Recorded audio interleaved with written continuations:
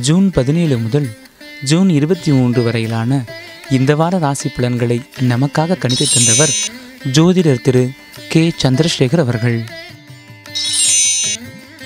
தனுசு ராசி நேர்களே உங்கள் ராசிக்கு அதிபதி குரு பகவான் தொழில் ஸ்தானத்தில் சஞ்சரிக்கிறார். பதினோராம் இடமாகிய களத்தர ஸ்தானத்தில் தர்ம கர்மாதிபதி யோகம் ஏற்பட்டுள்ளது.